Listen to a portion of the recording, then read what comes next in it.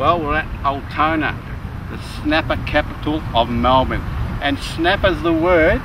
Well, this bloke here, Mr. Glenn Greene, how are you, mate? Very good, thank you, Hey, Charlie. Glenn, just moving a little closer to the camera there. Tell me about this comp you've got, All Friends. Yep. What's it mean? Uh, Charlie, the comp started uh, seven years ago by a gentleman by the name of Pierre Satoot. He uh, and a few friends got together and uh, had, a, had a little fishing competition and had a uh, few drinks and a barbecue. And uh, seven years later, we've uh, Seven years? Yeah, seven years, and the comp's still going. We've sold out. We've got 300 adults and 50 kids entered the comp this year, and uh, we're hoping uh, we can get out in the water uh, tonight and tomorrow and Sunday morning and get a few fish. Now, how many boats in total? Uh, boats in total, we've got just under 200 boats Whoa. and 350 uh, people fishing.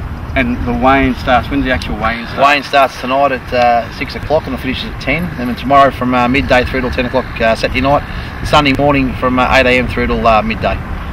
Well, mate, the weather's looking a little bit nasty, I've got to say. It looks like, as they say, it's about to hit the fan. It is, yes. Now- we're expecting some bad weather this Now, I know that you've got a few areas you're keeping secret to yourself, Mr. Glenn Greene.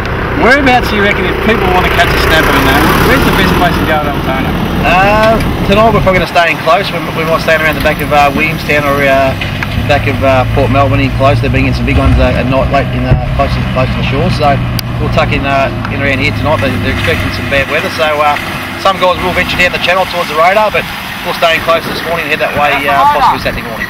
Well, you've heard it first. There you go from the man himself. What we're going to do now is we're going to be filming a lot of the fish that are going to be weighed in, and at around about three o'clock Sunday afternoon, we'll have a winner. Is that right? That's correct, Charlie. Uh, presentations at 2 and by 3 o'clock we'll know uh, who's the uh, 2011 champion for both the adults and the juniors and uh, and only time will tell.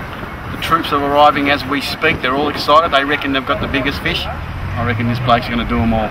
Let's see what happens. Cheers.